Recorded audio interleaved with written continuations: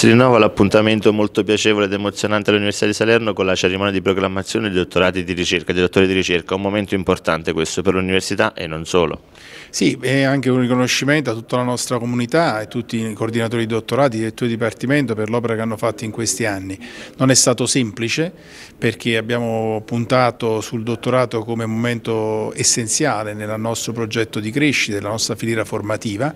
e lo abbiamo fatto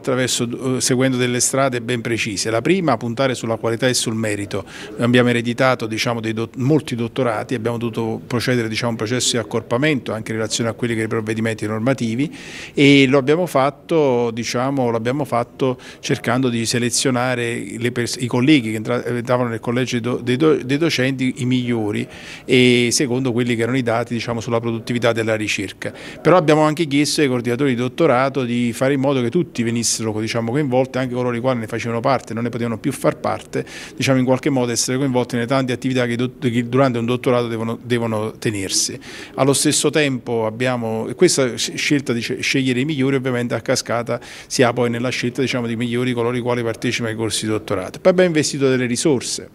perché abbiamo ritenuto che la, la formazione post laurea fosse decisiva per, per, noi come università, per i nostri dottori di ricerca, per, per, per il territorio stesso e in questo senso noi possiamo dire che nel 2013-14 l'ultimo dottorato che non, ho, non, non è stato diciamo, da me varato abbiamo, abbiamo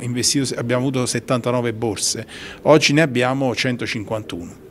151, quasi raddoppiate. Questo significa un'amplificazione della capacità di ricerca del nostro Ateneo, un'amplificazione del, delle qualità dei nostri giovani sul nostro territorio e quindi diciamo, una formazione di grande qualità che può essere, come dicono i dati Istat, che dicono, diciamo, testimoniano anche la qualità dell'inserimento lavorativo, sicuramente possono servire all'università alla ricerca, possono servire anche fuori dal mondo della ricerca e penso che su questo bisogna abbattersi anche a livello nazionale perché oggi i dottori di ricerca sono un patrimonio di questo Paese e molte di queste risorse le abbiamo ottenute su base competitiva. Infatti abbiamo partecipato quest'anno a due bandi, uno al POR regionale e Salerno ha avuto 26 borse aggiuntive e le ha avute diciamo, appunto sulla base del merito,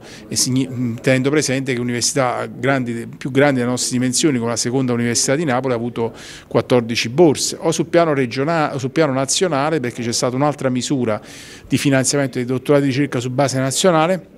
anche lì abbiamo avuto, guarda caso, 26 borse, però sedi importantissime come Bari ne hanno avute 12, Palermo 16, Foggia addirittura 0. Insomma voglio dire abbiamo veramente fatto, avuto un numero di borse molto al di sopra di quello che è il nostro dato diciamo, derivante dalle nostre dimensioni. A testimonianza ancora una volta che l'attenzione che abbiamo messo nel recuperare risorse su base competitiva è stata la scelta vincente e quando diciamo, c'è da prendere risorse aggiuntive su base competitiva l'Università di Salerno primeggia sempre. È valso per i fondi ordinari ministeriali vale anche per i fondi aggiuntivi per quanto riguarda i dottorati.